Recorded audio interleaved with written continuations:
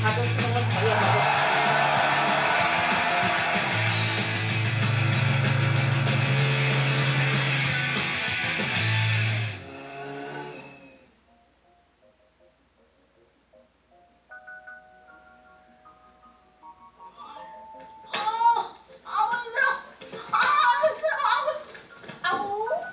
아 오빠.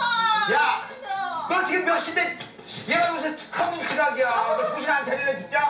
어? 아우 오빠 내말 들어봐봐. 뭘? 내가 이렇게 짐도 많고 어. 다리도 너무 아픈 거야. 그래서? 그래서 지하철 타가지고 자리에 좀 앉으려고 그랬더니 웬 할머니가 와가지고 나를 밀쳐내는 거 있지? 에이? 정말 내가 정말 어이가 없어가지고 아야 당연히 노인분이니까 노인분이 앉으셔야지. 아우 이렇게 세상을 몰라요 오빠.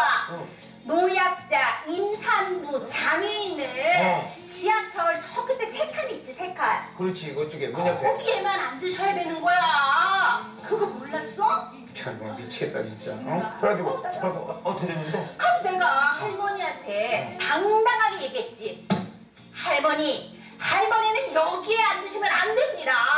저쪽, 저쪽 지하철 세 칸, 거기에만 앉으셔야 됩니다. 라고 내가 자세히 아주 당당하게 지킬 건 지키셔야죠. 라고 알려줬지. 세리야. 이 대중교통에선 말이야. 이 노인이나 뭐 임산부 이런 분들 당연히 자리를 양보하는 거 아니야? 어? 아우, 오빠, 좀 배워라. 그럼 그림은 왜 그려져 있냐? 어? 임산부, 노약자, 장애인 그 세 칸에만 딱 앉아야 돼. 내가, 내가 할머니랑 신랑이 하다가 늦었고, 내가 임산부까지 딱 정리하느라, 아, 이렇게 힘들어 죽겠어. 아이고, 다리야. 와 세리야.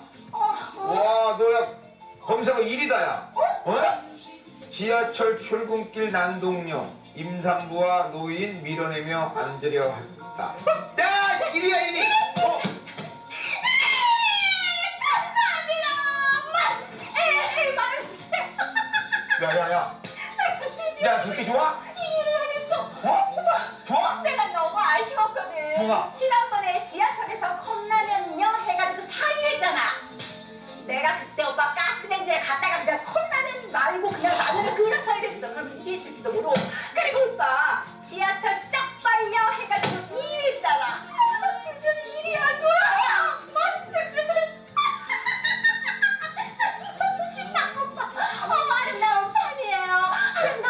야 이거 먹을래? 이거 먹어 이거 먹어. 감사합니다. 야 이거 먹으면 1위 한다고 1위 해. 이거 먹어. 아유 먹자. 아유 내 정말 아유.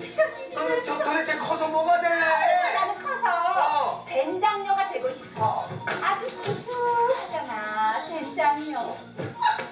자 오늘도 용다방사 여러분들에게 사연 배달하면서 가만히 있어 가만히 있어. 이리 부럽지? 어. 대전 유성구에 사신 김미화님께서 보내주신 사연입니다. 저는 시집 와서